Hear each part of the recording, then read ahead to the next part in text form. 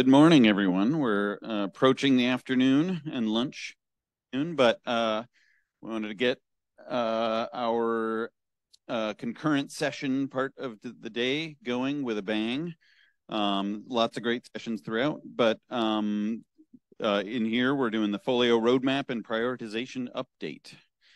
Um, doing that today are um, some members of the prioritization and roadmap uh, group team, what are we called? Working group? Working group um, in the Folio project. Um, and um, I'm going to start us off talking a little bit about um, our group and the charge that we've been working through. Um, and then more importantly, um, Kristen's going to take us through some 18 month roadmap uh, visualizations and and some information of how we got those. And um, uh, and Jen's going to be looking at some more, the basically a more detailed look at what's going on in the project, uh, sort of a like short-term view of what uh, what's being uh, what's being done in the releases coming up. Um, and Martina's going to talk about prioritization to get us that long, try to get us that longer view um, and where we are with that and I'll wrap us up with some challenges that we faced, some some of them throughout and some of them recently occurring things, and some next steps for the team work. And further ado, oh, let's start. Organization and Roadmap Working Group uh, currently consists of these members, um, many of which are here. Uh, and Charlotte Whitt is also with us. Um, she'll be uh, not presenting today, but will help as we got Q&A at the end. Um, Sharon Wiles Young from Lehigh uh, recently retired from Lehigh, and um, she hung on for a couple meetings maybe after that, but she feels like actually being retired, and she is here at WOLFcon. So, um, and uh, Deborah Howell from Cornell University is another member as well. One of the things we're going to talk about later is ship, and can we find more or others? What we what do we want to do with that? Um, and our charge is to manage a holistic process for developing, reviewing, adjusting, and communicating the Folio Community Roadmap, or roadmap, if you will. Um, and there are several components of that. There's a little more to the charge on the wiki. Um, I did not include the link here, but you can find it on the folio, uh, wiki.folio.org. Um, and uh, but among these components, uh, what we're going to talk about today is progress in some of these areas and maybe some future thinking in some of these uh, some of the others. But around feature prioritization how do we know what's the most important to the most institutions or to uh, or the most just to drive folio in future? Um, identifying themes and sub themes what are ways to describe the functionality that Folio needs in ways that are sort of digestible and, and understandable by the people that need to make some decisions around those. Um, maintaining a roadmap that includes those priorities. Um, clarifying roadmap intersections with release planning, testing, and release schedule. Um, I don't know if we're talking much about that today, but we are, um, but that's trying to hit where, where does this roadmap meet some of the other planning and sort of resourcing parts of the project um, trying to develop some clarity on what's targeted for development and what's not. There are a lot of ideas out there of things people would like to have in Folio, things that are being worked on, things that are not being worked on. And um, among our goals is to try to make sure that's uh, clear. Um, articulate who's responsible for identifying priorities. Um, that's some uh, work that we'll be talking about a bit and uh, has some future work ahead of us integrate information about non-community development efforts into road the roadmap and priorities. It's an interesting piece there, and we've had a few discussions around this. It's all community development, really, if it's feeding into Folio itself, whether that's um, EBSCO developers or other uh, other vendors in the mix developing things, or developers at libraries, or some random person who decides they want to develop a Folio app. Like this is, it's all part of the greater community, and we're um, so exactly how we are interpreting this bullet is to try to get um, all those priorities and and the roadmap aspects that are out there in some of these disparate teams together so we can see it um, as a full project. Um, and then generate and update documentation and visualizations for to help people understand what they're seeing in the roadmap, what they might not never see in a roadmap, like what it means. And I'm going to pass it on to uh, Kristen to jump into the 12 month roadmap, 18 month roadmap. All right, thank you. So I'm just going to check our chat. Um, so it looks like everybody can hear us. We're uh, playing around with our own technical setup. I had some presenter notes that I have no idea what they say now. So hopefully I'll remember them well enough. Uh, and I do just want to stress that one of the things as we have been working on a new roadmap that we've been trying to do is to consider the community in the broadest sense. So whomever is developing Folio, and we have tried to represent all these different teams, but we may have missed something.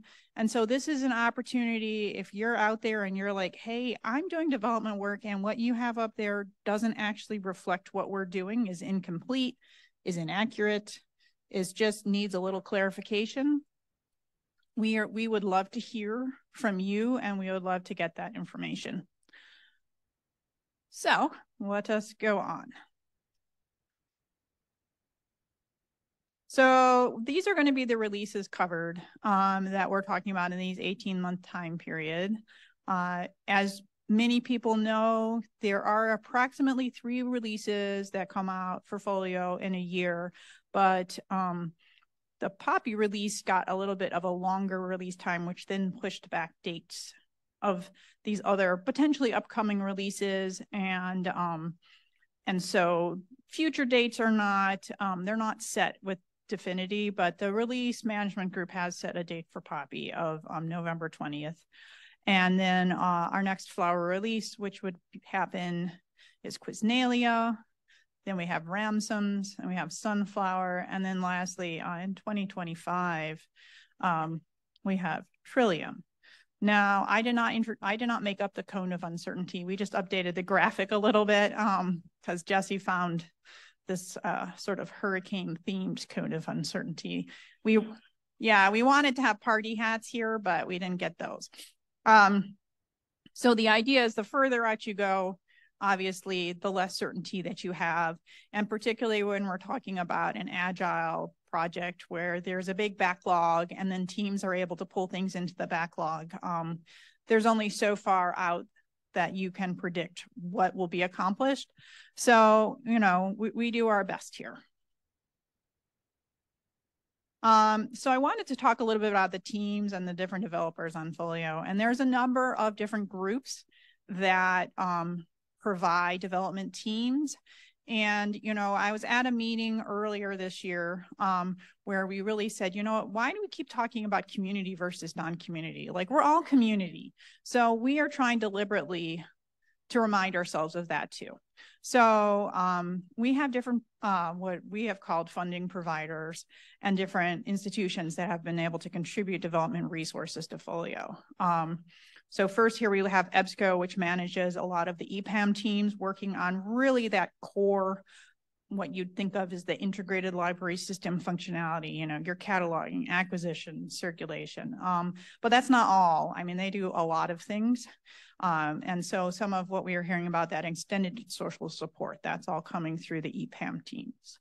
Um, additionally, we have um, a lot of information here from some different uh, German consortia and like I said, we may not have as much detail on everything. So, you know, these things, we, we welcome more information to help us make sure that we've got um, more detail. So HEBIS and index data, they're going to be working on, you know, reminder fees, add-ons and circulation, BNVOLC, which is a knowledge integration and GBV. Their, their area of focus has been on the electronic resources management, providing dashboards, um, and then also looking to, um, you know, widgets. Um, CIF, which is GBV plus index data, that focus has been on the union catalog for um, German consortia and, and handling their requirements as well as on the harvester. Um, additionally, there's a number of institutional teams that come from American and uh, European institutions and consortia. And these teams are focusing on areas around workflow, calendars, and some just core ILS enhancements um, for things that their institutions need, and then they get contributed to the project. There's also individual developers that are out there. They come from multiple institutions. They can join in teams where they're as needed, where they have interest, and then enhance um, features across all functional areas. Uh, Leipzig, the University Library Leipzig, and that got cut off, but that should say knowledge integration. They have focused on open access and usage statistics, and also um, more recently a number generator. And also um, knowledge integration, Duke and GBV have been working on a serials management module. So that may not be a full list of teams, but that gives you a sense of all the different groups that are working to develop Folio. Um, and then we move on to our 18 month outlook.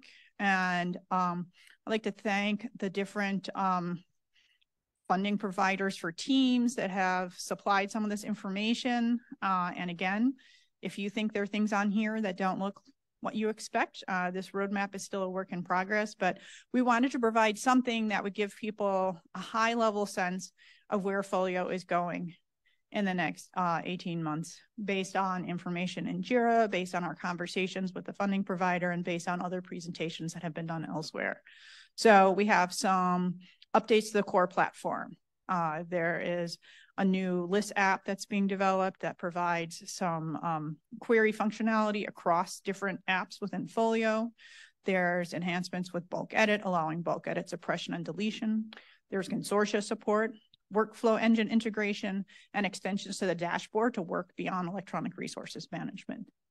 In the area of acquisitions, um, some features that will be coming are to be able to process invoices against previous fiscal years. We actually just heard um, from the Library of Congress them mentioning that that was one of their gaps. Um, also, just um, implemented within orders is a version history so that you can see changes in your orders and your uh, purchase order lines and what's happened there. Uh, a better connection and display of additional information. Well, not really a better connection, but just being able to see more order information and inventory and then the aforementioned serials management publication patterns getting rolled into the acquisitions process. Within circulation, we expect to see improvements to the request workflow, title level requests potentially, uh, patron notices enhancements, um, enhancements in fines and fees to be able to look at actual costs, and um, reminder fees. Within ERM, uh, there's work being done on the global open knowledge base, a synchronization rewrite, um, search implementation review, general performance improvements, and more support for task lists and checklists. Um, looking specifically at the 18 month outlook in metadata, as this is an area where Folio has a lot of new developments that should occur over the next 18 months. Within cataloging, there will be cataloging workflow improvements. Uh, there's been a lot of work that's under been undertaken with MARC authorities. The linking from the MARC authority to um, inventory is occurring. Uh, search and browse and browse improvements and improved in-app reporting. Uh, data import, and there are several sessions that we'll be talking about data import here at WOLFcon that will go into some more detail here. Um, the migration process, improvements with that, some just architectural and workflow improvements for data import, scaling and performance improvements, and then improvements in the business logic of data import. Within linked data, another one that you heard a lot about this morning from the Library of Congress, um, the ability to manage BibFrame records, uh, the ability for entity management for authorized access points. So this, um, so that those are enhancements that are expected.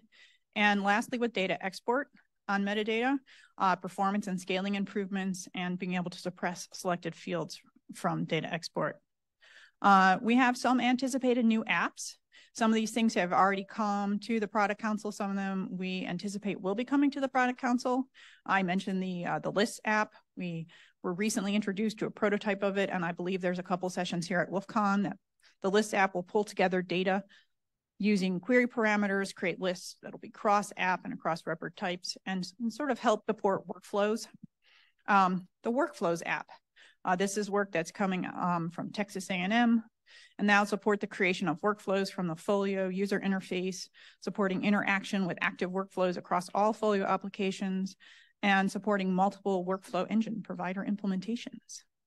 Uh, the Harvester app, which is um, a, a new concept, not yet uh, discussed within the product council, but something that we anticipate will be coming up, will support the data flow from the union catalog to inventory, and will integrate with this Harvester admin functionality.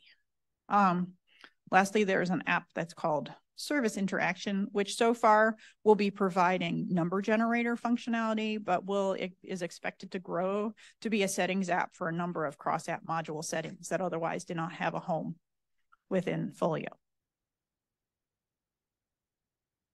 All right, um, now I'm going to turn it over to Jen to talk about some dashboards as another way to be able to view the roadmap. And I should say we are we're going to handle all the questions at the end just because we're kind of covering a wide range of different things. And so then we'll um, we'll loop back to questions.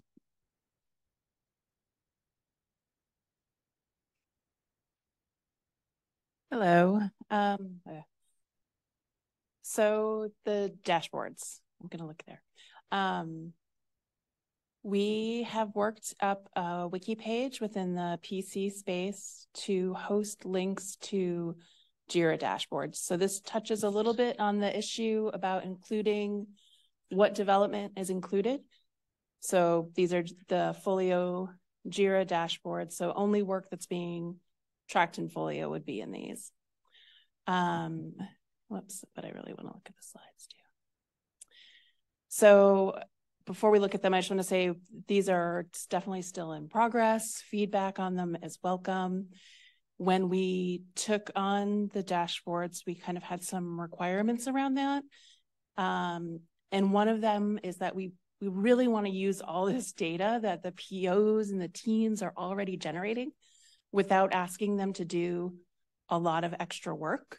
So we did meet with the POs. We kind of talked about how they mark up their JIRA issues and what data points are in there that we can use for reporting. So the POs have an existing label list. And as Jesse was saying in chat, we are going to upload these slides so you can go and take a look at it. Um, but that label list kind of maps to the SIGs. And so using those labels, you can kind of gather up all the issues that a particular SIG might be interested in. And so that those labels um, are the basis for the table of dashboards. The dashboards are also an attempt to kind of represent and deal with what we sort of call the level problem, or it kind of comes up all the time. Um, anytime you're trying to explain something where you've got high level and low level, and the dashboards kind of try to bridge that. So we're seeing really high level roadmap from Kristen. When you talk about the UX prods, they're sort of mid level roadmap. And then, of course, the developers and the POs um, have stories in JIRA that are like super detailed, uh, as much detail as you could possibly want. Um, and so with the dashboard, you can kind of get to those lower levels if you're interested um, but still see the big picture if you want to. The dashboards are also dependent. We were talking a little earlier about sort of connecting up to the release calendar. So the dashboards are, are actually quite dependent on the release calendar because the POs have a point in time for each release where they have to set their scope. And so if you look at the release calendar, you can see that date. And you know that at that point, the dashboard for that release really is the PO's best guess. Doesn't mean things won't change, but that's kind of where they say, yeah, this is what we think is going to be in the release.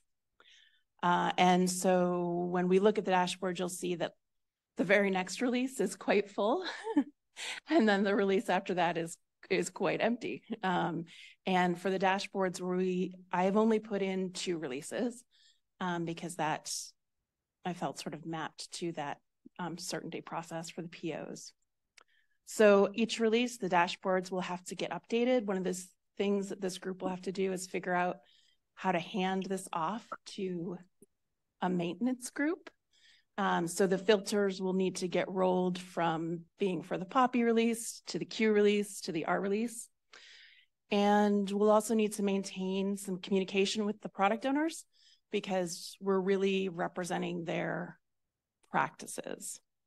Um, in addition to the dashboards that the that this group is creating, we are linking to the um, the ones created by Khalilah, the lead product owner, uh, and the ones created um, by the release manager, uh, which is a calendar, not a dashboard. Um, but both of those really give you context um, for what's in Jira. So now let's see if I can get back. maybe if I should click it again. Okay, so uh, up at the top are the, the ones maintained by Khalilah and the release managers. And then down here, uh, we have more functional area dashboards coming, but I'm going to show you the metadata management one. And, you know, you can do all of this stuff in a different style. I ended up going with um, pie charts for these, but one thing we can also think about because they're organized around the labels in those SIGs is like the SIG can work with us and talk about what they want there and get trained on maintenance if that's something the SIGs are interested into.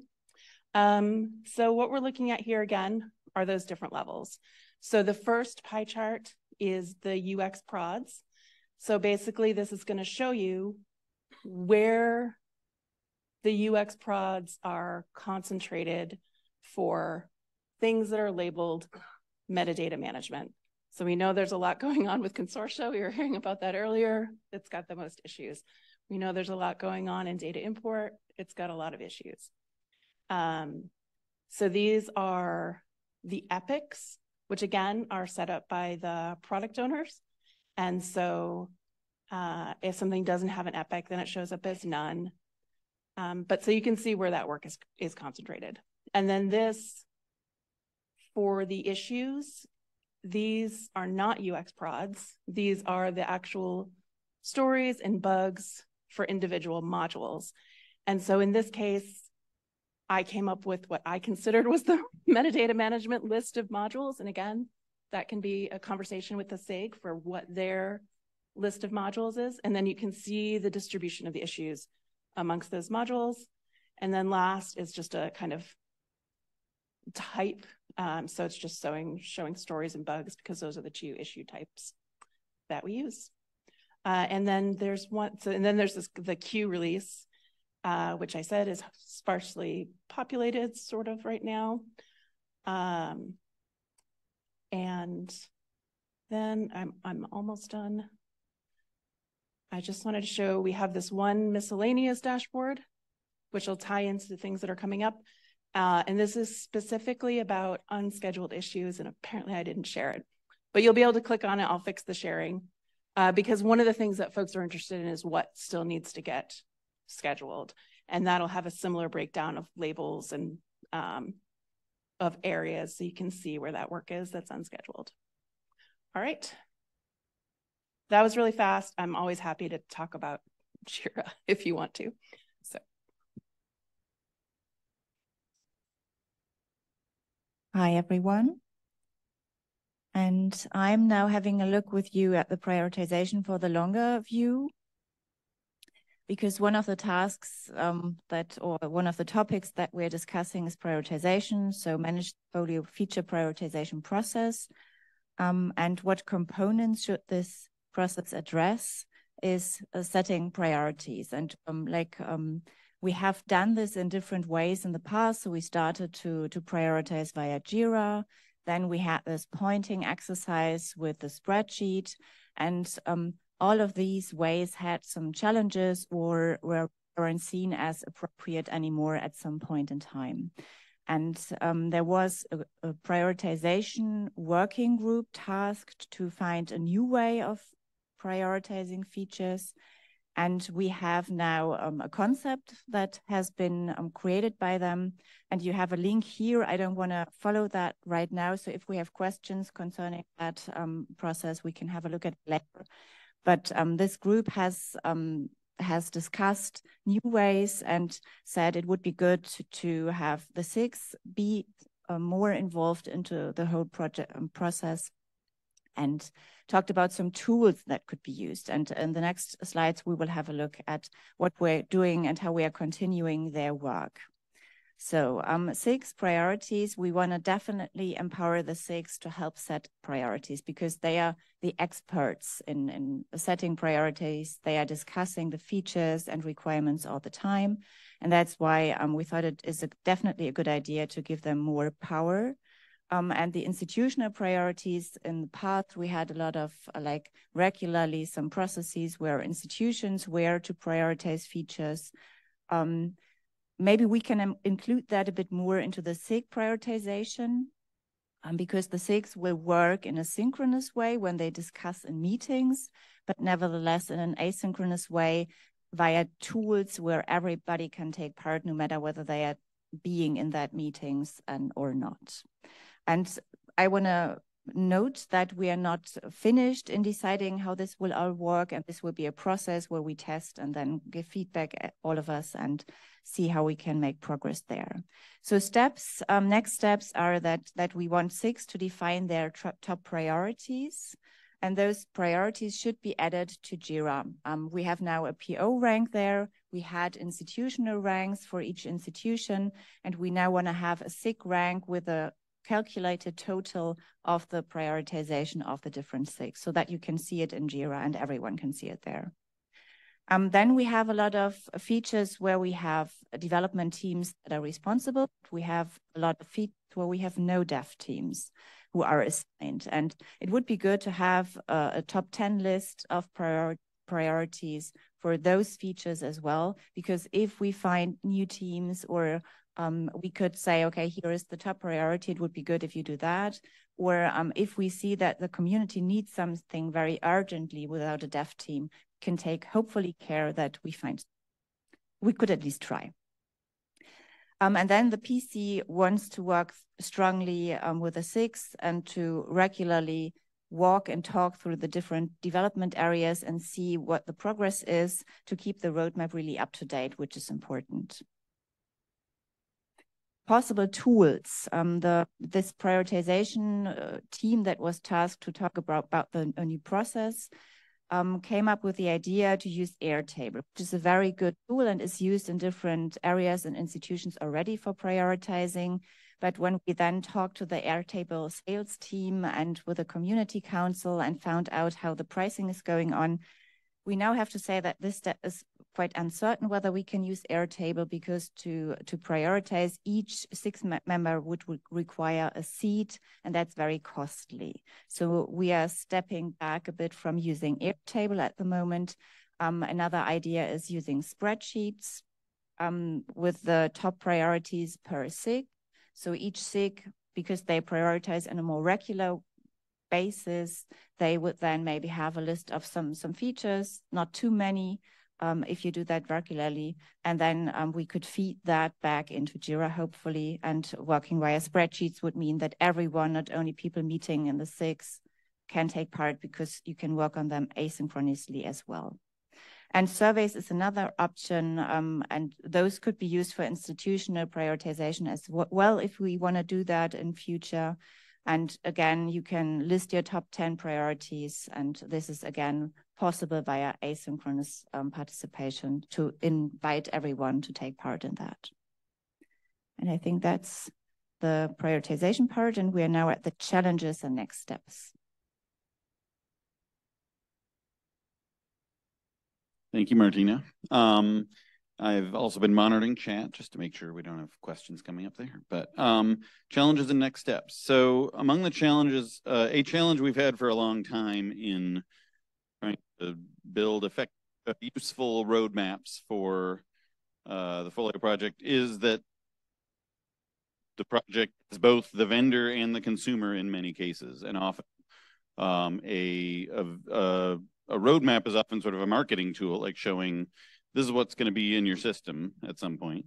We both know too little and too much at the same time about kind of what's going on in the Folio project as active participants as well. That makes it um, a challenge to find that what's that balance of either uh, a good overview of of sort of keywords of things to come versus uh, good detail that lets people uh, really make decisions about when they're going to implement or um, is this does this feature look like what I'm going to want to have? And um, I think as, as we've been looking through these current ways of viewing what's going on in the project, I think we're starting to overcome this challenge. Um, and um, and it'll be mostly as we start to document out how to what what is it that you're seeing here and what does it mean. Um, I think we'll sort of hopefully see the see this in the rearview mirror soon as a challenge.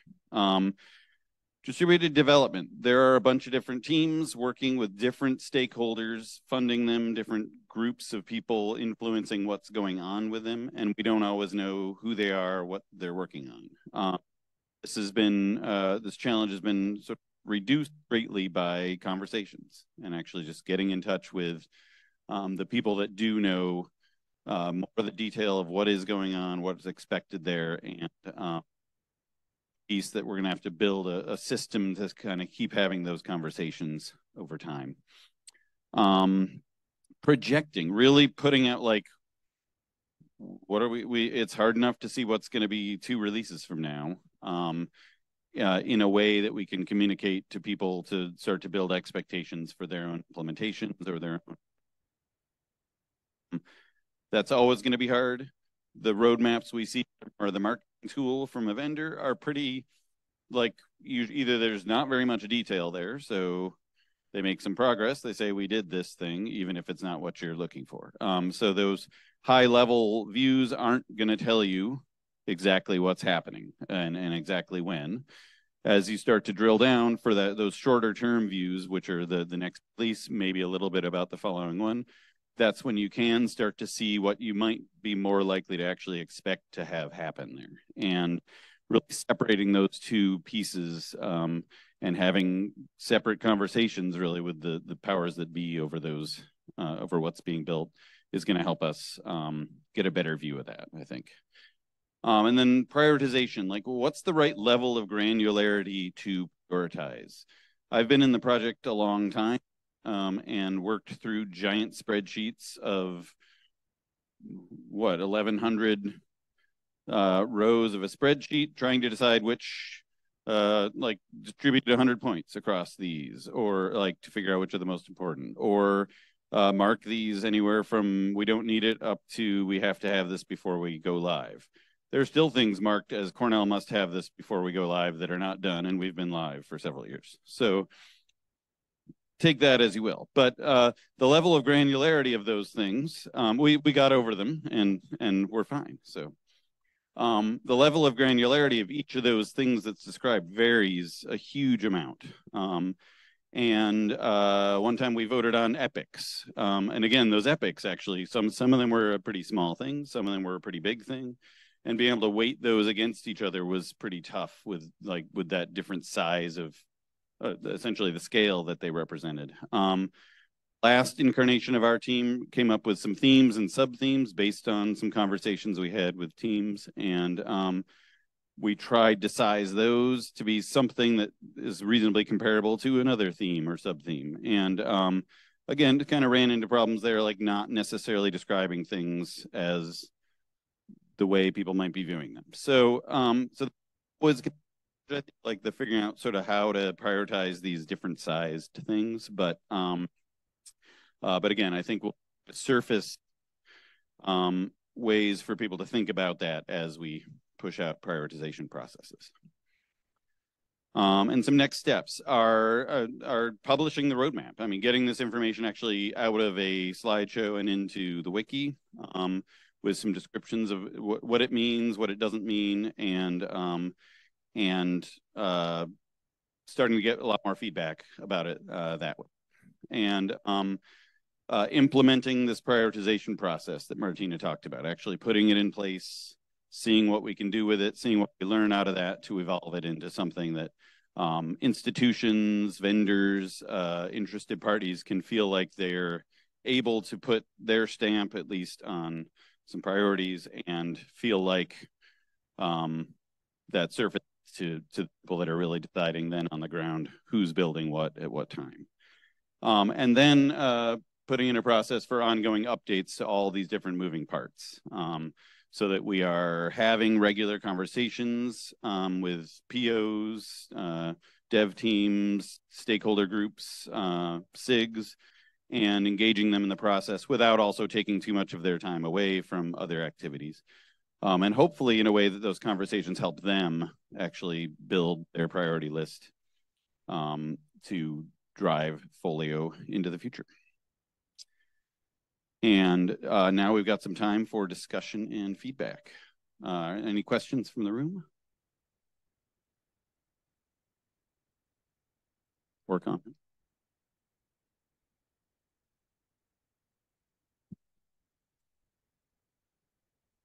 I think this is more of a comment because I don't think there's an answer. I just want to acknowledge the the challenge with I've been thinking a lot recently about are these SIGs really the right way for us to be even organizing our community anymore? But then I think about, well, if the SIG is going to be the source of community prioritization, then they are very important. But thinking about the metadata management SIG, which I'm most familiar with, so often we don't have, I, I, won't even say we would want consensus, but we can't come to a general agreement on what's most important because we have so many different institutions with so many different needs. So I just want to acknowledge the the challenges that that that we're all facing with figuring out what should be done next when there is obviously more that's needed than we can do at one time. So trying to decide whose need is most urgent is is really it's a it's a wicked problem but thank you for taking this on.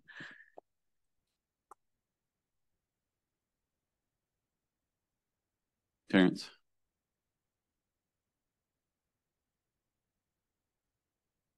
Um, my, my question is around new anticipated apps, um, which I think I came in as, as the slide was up. I guess how I've been on the wiki having a quick quiz at how to pitch something. How easy is it to get through that process of like, if somebody has an idea, I mean, I've sent several ideas, my institution has a few as well, but let's just say I want to do something to go from that point to eventually it's appearing on on your slide as least an approval. How easy is that? Because it that seems a little bit op opaque to me. I don't know if this is the right forum to ask that question. Maybe it's not, but I'm trying to find the right forum for it.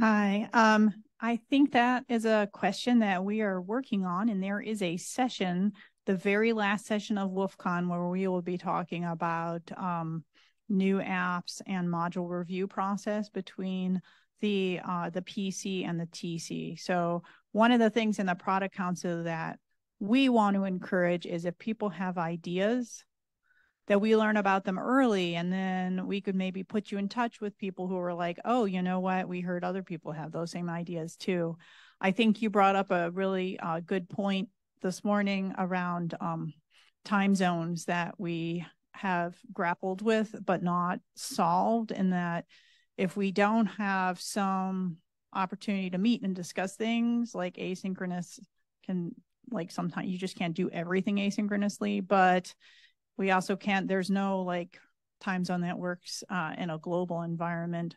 Um, so we would probably want to think about a, a, way to work with um, a development team that maybe would be located in in the not around new york eastern time right as the kind of the central hub um, and then there is a um, the the technical council does a module review process that covers um, very specific technical requirements so that something can get put into a file release. And so this session we'll talk about what that whole process has been like. And then we're also going to, we're doing a little review of um, where it stands now. And we're encouraging people to contribute ideas if there's ways that we can strengthen that process as well.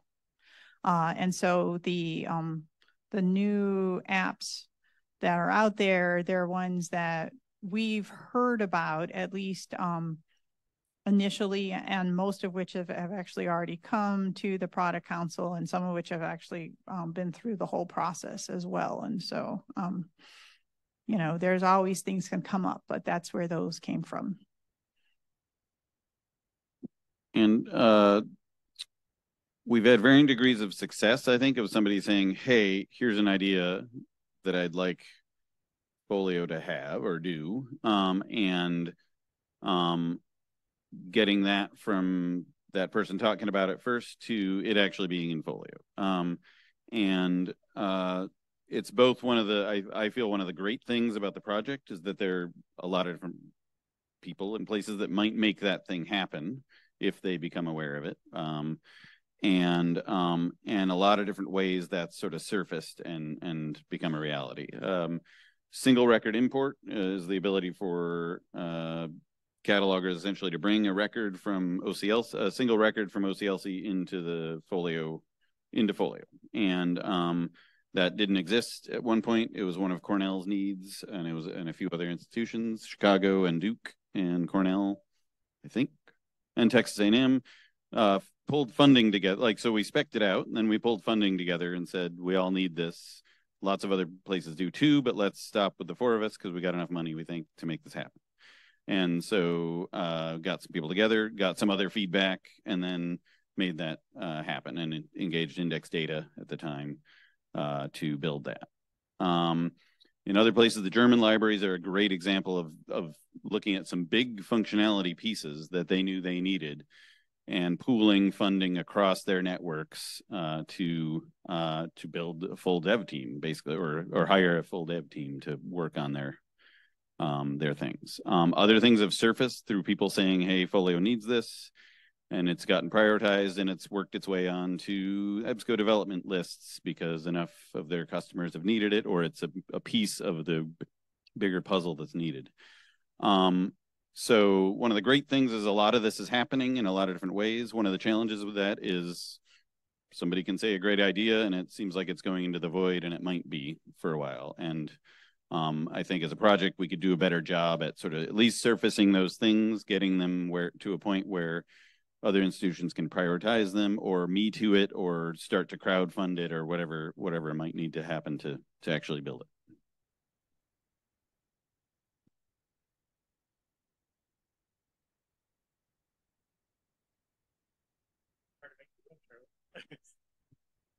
Um, I want to start off by saying thank you for everybody who's worked on this this process. This can't have been easy, and there's a recurring challenge that's often spoken about on the project with prioritizing functionality where we don't necessarily have people or teams assigned to be able to achieve that. And so there's sometimes some despair in that conversation of what's the point?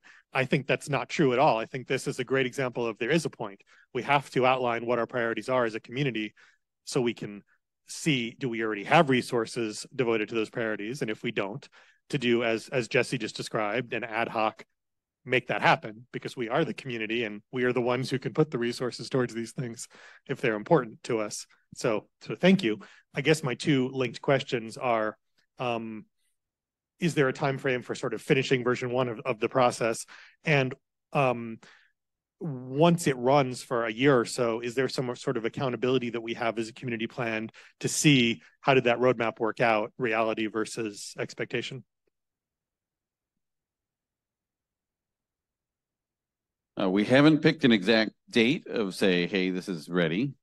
Take a look. Um, but um, but yes, uh, those are some those are some of, among our next steps too, is to set up that timeline. And Kristen's probably got a better answer and maybe even a date for you. I don't know. Well, what what I would like us to be able to do, I think, is um to, you know, though that very high level view, um, to be able to get something like that out there, even on like the folio.org website, uh, because I think that that that is kind of a, a marketing tool in a way, like hey, Folio's getting developed and we've got this great new folio.org website out here. We want to keep the information current. And then I think for people that are in the project, the dashboard route is going to be more useful in understanding, um, you know, that drilling down. And some of our job is going to, I think, be returning to this with every release to see like, okay, how can we bump out that 18 month outlook now that we're one release down? Um, and if we go to a different release model altogether, uh, then maybe we would need to revamp that even further.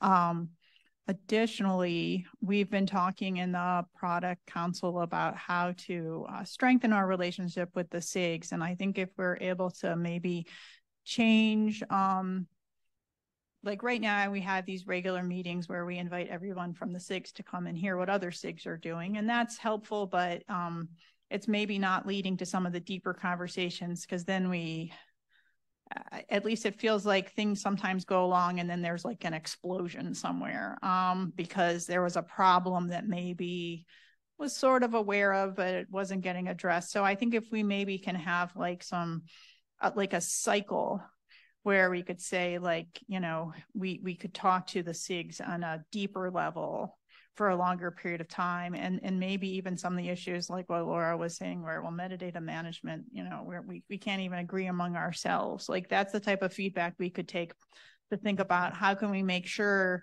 that we're supporting metadata management or that we're supporting diverse ways that different libraries are anticipating working with their metadata because we're not we're not coming up with a really uh, clean kind of you know one size fits all or even most it sounds like know if other members of the team want to add.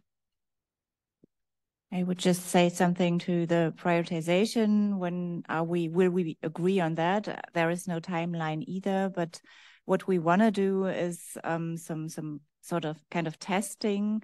We um, always try to address one or two SIGs to say, okay, would you be willing to test drive what we are looking for? For instance, working with a spreadsheet um, we had one um, SIG that was willing to test Airtable, for instance. So, and then we we we give them some time, I don't know, six months or so, and then we receive their feedback, and then we could see whether that's a good working way or whether we need to review that. So it's not not easy to give a timeline. And what Laura said, I mean, we need to have a look at will the SIGs stay as they are? Are there differences? This is really a living thing, and we need to adjust that every now and then. Uh, just one more plug on the dashboard. So the roadmap that we looked at is one way of doing the dashboard. For metadata management, we've also built a bug tracker dashboard, and that's in our meeting minutes for every week. So folks have a chance to go and look at it and see where things are. The support SIG, I know that they open their dashboard for every one of their meetings. And so getting these to a place where it's something the SIGs want to open on a regular basis, look at together, um, and see where things are. And I think that the, you know, doing doing a big push for input once a year can maybe sort of work for institutions, but it it um, everything else we do we do in this agile way, and so uh, it makes sense to to do that in our planning too, and not just try to do it once a year, a whole bunch of work.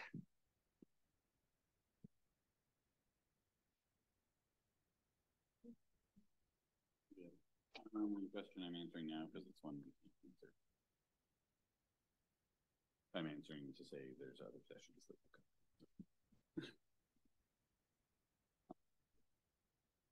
Any other questions here? Other questions from the room or uh, from online?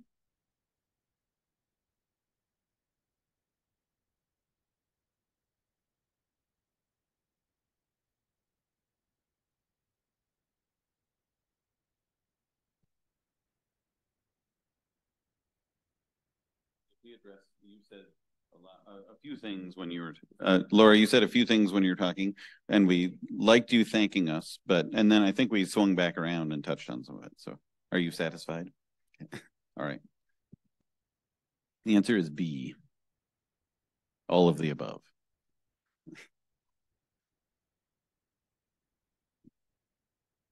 All right. Well, thank you all very much. Uh, thank you, my esteemed panelists, as well.